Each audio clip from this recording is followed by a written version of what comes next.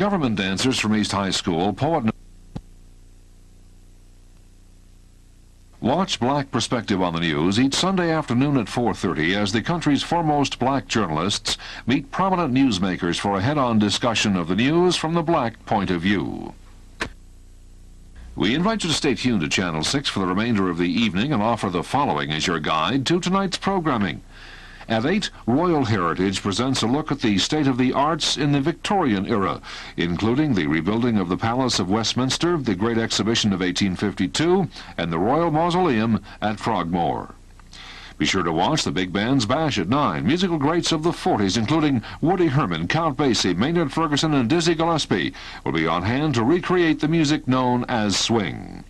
Stay tuned now as Lowell Thomas remembers aviation in 1947. Star Wars composer John Williams conducts the Pittsburgh Symphony Orchestra in the premiere performance of his Star Wars Suite when PBS presents the music that made the movies, the first program in a new season of Previn and the Pittsburgh, Sunday evening at 8. KRMA TV Denver, Channel 6. Funding for this program is provided by this station and by other public television stations. Produced by Educational Productions Incorporated of South Carolina for the Southern Educational Communications Association.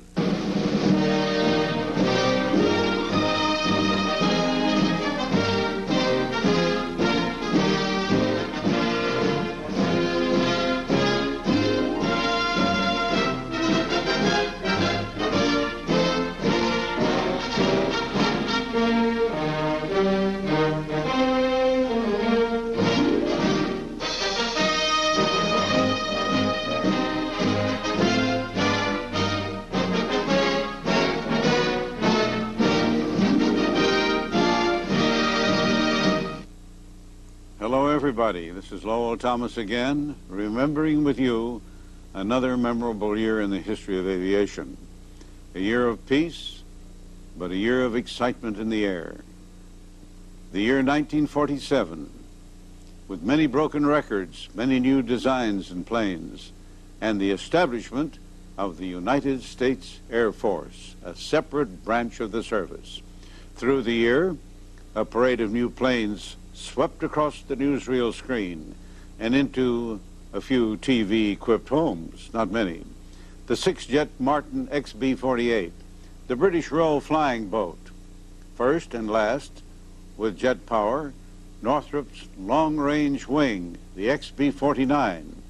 And most significantly, the first flight of the Boeing B-47 swept-wing jet bomber.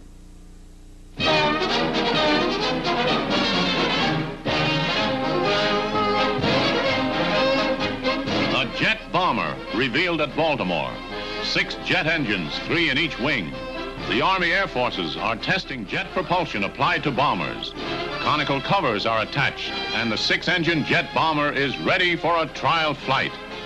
Two double wheels, front and rear, with small wheels supporting the wings. Bicycle landing gear in a takeoff.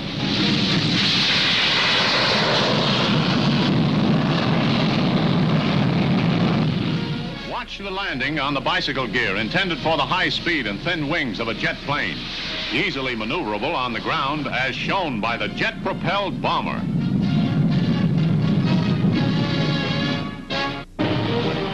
Landing in the English Channel in the official tryouts of the first jet-propelled flying boat in the world.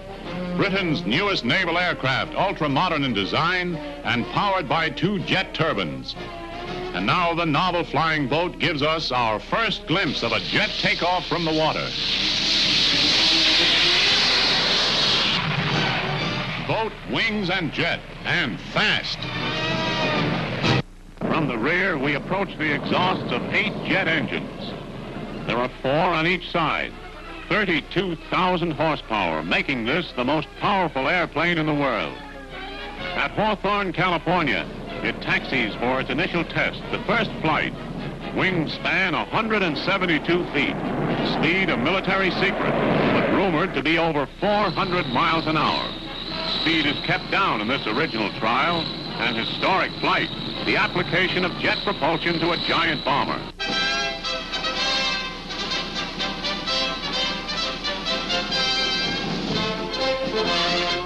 Powered with six jet engines plus auxiliary rocket motors, potentially the most powerful bomber in the world. In the state of Washington, the Air Force tries out the XB-47. Swept back wings, the first jet plane of this type. Designed for supersonic speeds, the engines on both wings trailing a two-fold jet of steam. Able to carry the bomb load of a B-29 Super Fortress. And that curious landing gear works okay. An ultra-modern bomber.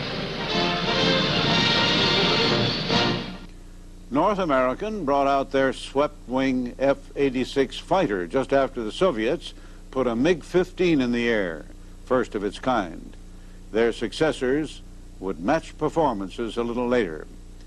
Pilots and planes were vying for new firsts, and for the first nine months, they vied for speed records, all subsonic.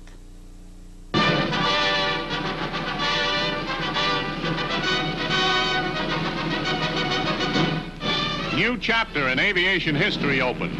At Hickam Field, Hawaii, a P-82 takes off on a grueling non-stop flight, soars over Honolulu's Diamond Head. The proving ground, 5,000 miles of sea and land. Near the California coast, an empty fuel tank is dropped, rips an aileron. The flight drones on, destination LaGuardia Field, New York, where the Army Air Force's fighter finally taxis in to write a new record for fighter planes. Wives of the flyers join the welcome as the plane rolls in, three empty fuel tanks still under the wings. Time 14 hours 33 minutes. Hero of the day, Lieutenant Colonel Robert Thacker, the pilot. Co-pilot Lieutenant John Ard, who helped make this bit of aviation history. Colonel Thacker sees another goal and heads for it. Mrs. Thacker and a real warm welcome. Modestly, Colonel Thacker tells some of the sidelights of the trip. Well, the whole idea of the flight was to get to LaGuardia. Well, we had a good flight. Little interesting things happen along the way, such as drop tanks not falling off, and when they do, they rip through the trailing edge of the wing and so forth, but it didn't hurt anything. Tired? Yes, but not too tired.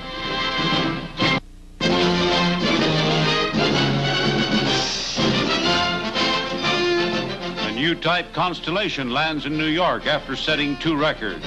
Famed ace Captain Eddie Rickenbacker was on the flight from Burbank, California to Miami in less than six hours and 55 minutes. Then Miami to New York non-stop in less than three and a half hours. Rickenbacker, congratulations for pilots M.A.C. Johnson left and Dick Merrill right.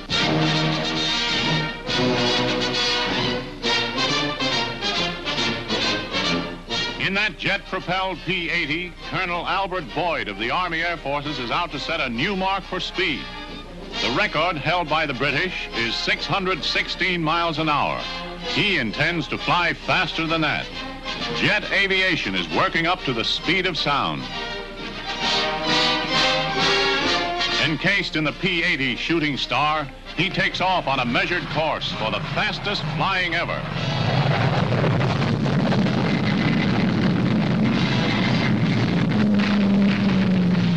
Clock a speed of over 623 miles an hour, a new record. Then a smooth landing on the bed of a dry lake, a great level expanse for a high-speed testing ground.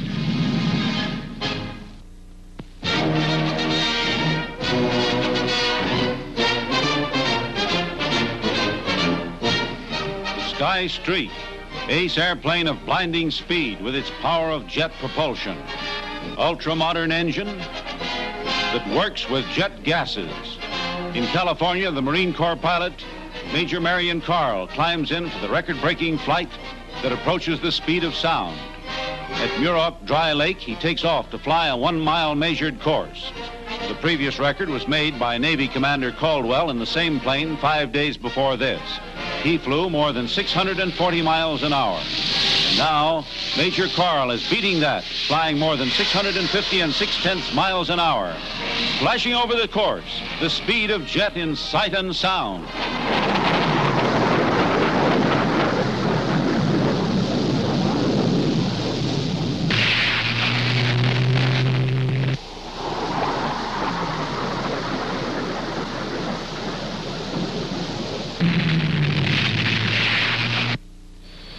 The after approaching the 750 miles an hour speed of sound. A new exploit for Major Carl of the Marines, who was an ace fighter pilot in the war.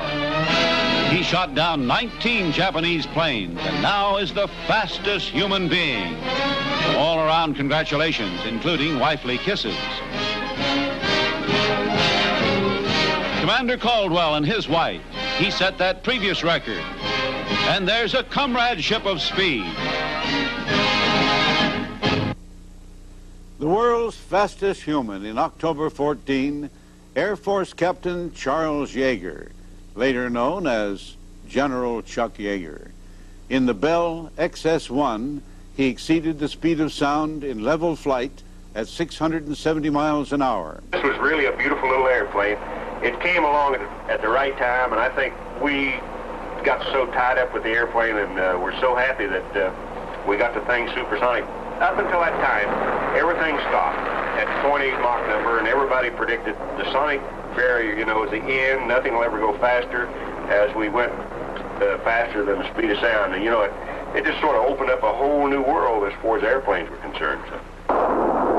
And you really don't have any so-called feeling when you do something like that other than a feeling of accomplishment because that's really what you're trained to do. That's part of your job. I came into the Air Force as an 18-year-old kid fresh out of high school, and the Air Force sort of taught me everything I needed to know, and it makes you feel good to look back on something like the X-1 and, uh, and the achievements that that thing accomplished. Plane builders and the armed forces sought records for plane size and weight. There were Navy and Army Air Force helicopters, too. A two-rotor helicopter intended for the Navy with three blade rotors capable of carrying 2,000 pounds. And in this demonstration at Philadelphia, we see that it's a 10-passenger job.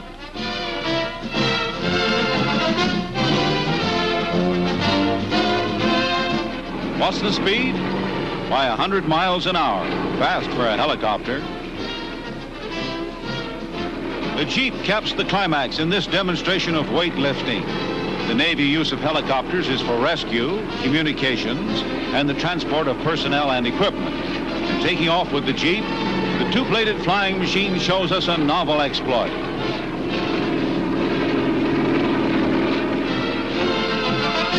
The world's first twin-engine transport helicopter on a test flight demonstrates its carrying capacity. 2,000 pounds of cargo or 10 passengers. It's the most highly powered helicopter with two 520 horsepower engines. Tried out by the Air Forces at North Wales, Pennsylvania, the big bladed flying machine is designed to transport military supplies to areas otherwise inaccessible. Also, a helicopter is good at emergency jobs of picking up people. Mighty big as helicopters go.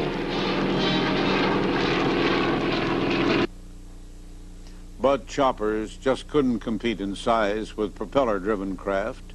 And the French came up now with the world's largest flying boat at 72 tons, larger by 4,000 pounds than the Martin Mars. And the Army also announced the world's largest land plane. Leviathan of sea and air. France's newly built seaplane, the nation's largest, turns men into dwarfs by comparison as they prepare the airways giant for a trial run. Men and a monster to do their bidding. Six motors of 1,600 horsepower each lift the 72-ton monster like a feather. France's bid for a place in the aviation sun.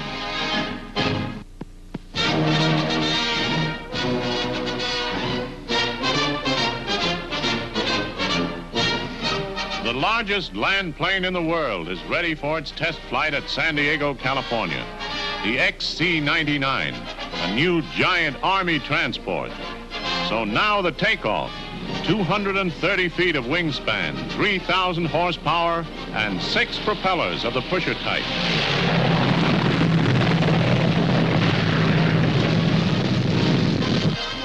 Like a huge cigar with wings, it looks as big as a blimp and can carry 400 fully armed troops at 300 miles an hour.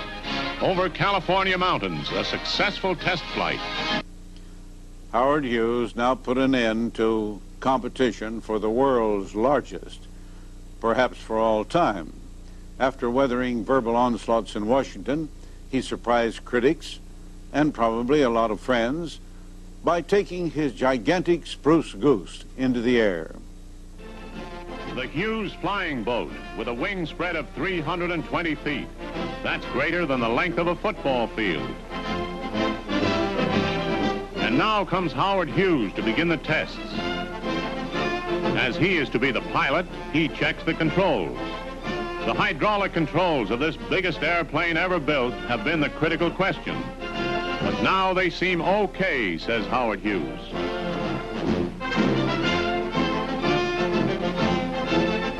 In this 200-ton sky giant at Long Beach, California, a gangway leads to a lower deck. And as we look from the rear to the front, we see the spaces designed to carry 700 persons.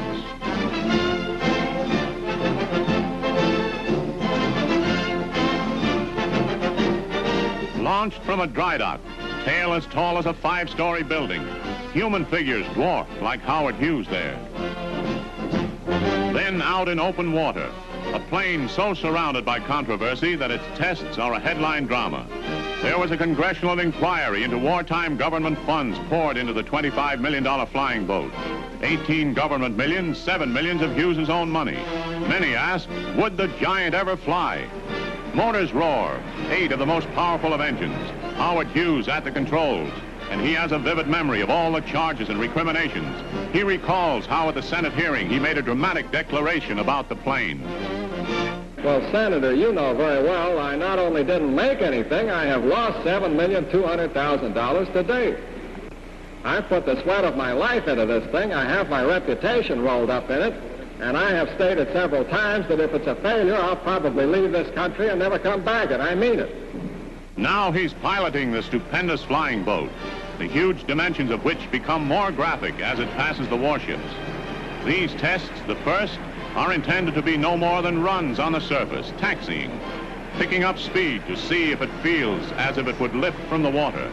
Looks as if it wanted to.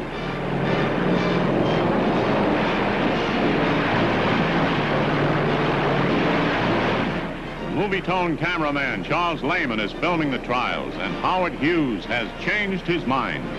The monster flying boat seems so ready to rise that he decides to take off, and he lifts the greatest load of aircraft that ever flew. It's a hop for a mile, showing the world's biggest and most controversial plane flying and landing.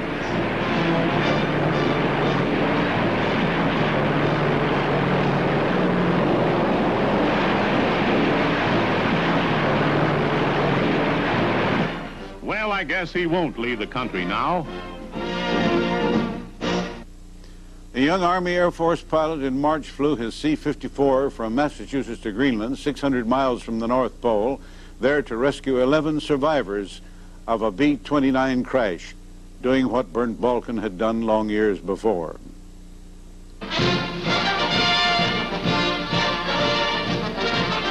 Errand of Mercy. A C-54 starts a daring mission. Rescue of a B-29 crew forced down on Greenland's barren, icy wastes. The transport starts from Westover Field, Massachusetts on the perilous 2,300-mile journey. Destination, a point 600 miles from the North Pole. Success! Rescuers sight the smoke signals and the 11 survivors in these exclusive films taken by an amateur aboard the Mercy plane. It's a happy day for all as aviation history is made in this exploit, landing 60 tons of plane on treacherous Arctic ice. The tough job ahead is the takeoff, but with the help of four rockets under the wings, they get into the air for the long flight back. And now back home to glory. Mission accomplished. The giant transport returns to Westover Field. Weary but happy, rescued and rescuers. It was a grim ordeal, but it's all over now.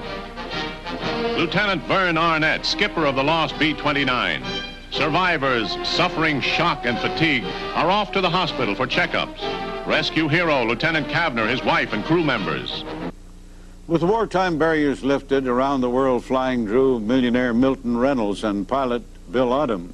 And then Odom tried it all alone for a new solo record.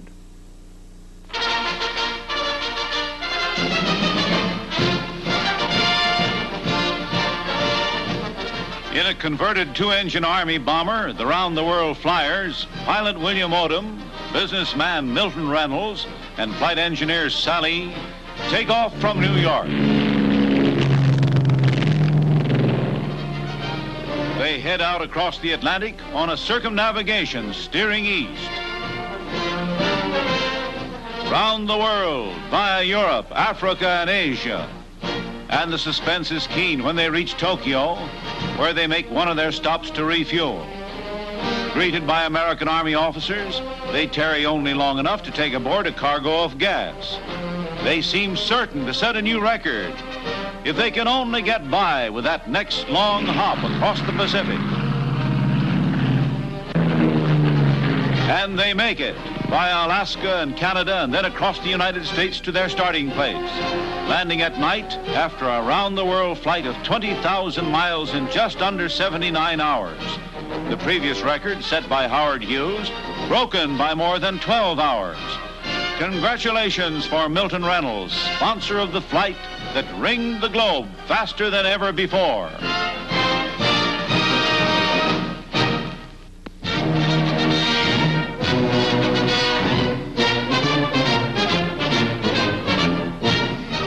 Starting from Chicago for a round-the-world record, Captain Bill Odom bids his wife goodbye. In the bombshell in which he flew on a previous globe-girdling record breaker, he goes winging east alone. In France, for one of his brief stops, he gets a cordial reception before pushing on. And in Japan, asleep on a wing for a couple of hours of badly needed rest. Movietone flashes of the flight that ends where it started, the bombshell whizzing over the field. Family waiting to greet the aerial circumnavigator who has flown more than 19,000 miles in 73 hours, breaking the previous bombshell record by nearly six hours. Route from Chicago, with stops at Newfoundland and France, then Egypt and India, Japan, across the Pacific to Alaska and back home for the speediest Earth-circling trip ever made. The only previous round-the-world solo flight by Wiley Post took 113 hours, more than Bill Odom took. Flying enthusiasts George Truman and Clifford Evans tried it in a Piper Cub, making 25,000 miles in 123 days.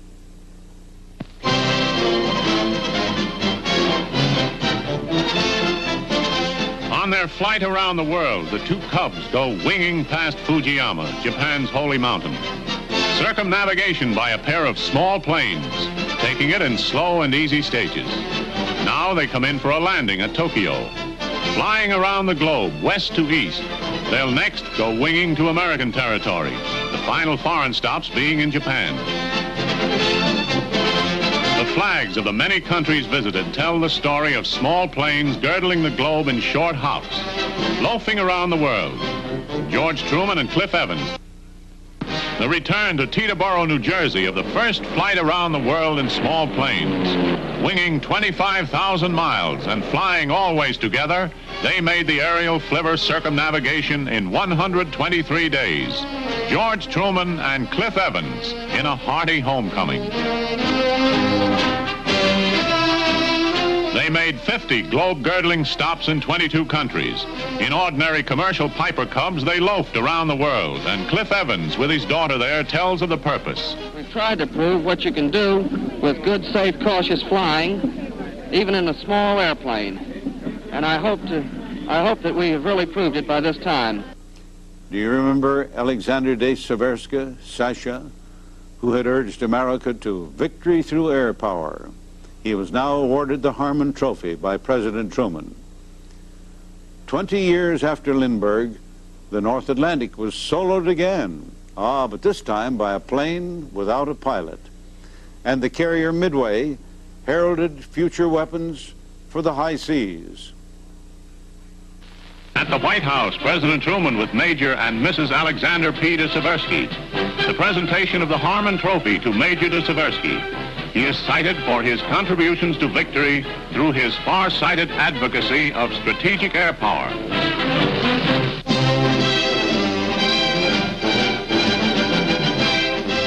The crew is just passengers, and gadgets do the flying. Set before the takeoff to pick up radio signals and fly by these automatically. The only human act is pushing the button for a push-button takeoff from Newfoundland. No human hand at the controls as the pilotless plane spans the Atlantic, one beam after another picked up by the gadgets. Of these, the chief guiding device is a cunning mechanism called the brain, which we now see in action as the brain, with mechanical precision, lands the robot plane in England. This first pilotless transatlantic flight is an epoch maker in the field of pilotless bombing. Carrier Midway makes history with the first V-2 rocket launched from the deck of a ship. You see the terrific heat waves. The National Defense headline of 1947, warship launching rocket. Eight B-29s flew longer and faster than anything on wings just to celebrate the creation of the United States Air Force, our newest branch of the service. Bombers thunder over Washington's Capitol Dome as America's Air Forces open the celebration of their 40th anniversary. Even British Lincolns are on hand in a salute to America's air power, a salute that spans the world. In far-off Tokyo, the celebration's first phase begins as eight B-29s take off in a mass flight to Washington, fully loaded for tactical duty. Fujiyama, the plane soar off in the first leg of a grueling flight of more than 7,000 miles, longest mass flight of its kind in aviation history. Mission accomplished. The bombers reach Washington after one refueling stop in Alaska to complete the journey and roar in for a landing to chalk up the fastest flight of its kind on record. The trip, one of the Air Force's day highlights, took slightly under 34 hours. With rockets and jets blasting into space faster than sound, it was no wonder that new objects were sighted and sought by military cameras.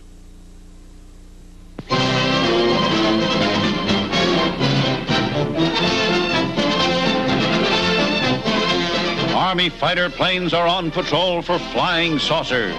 Cameras installed to photograph them. Portland, Oregon, the area from which came the first weird reports.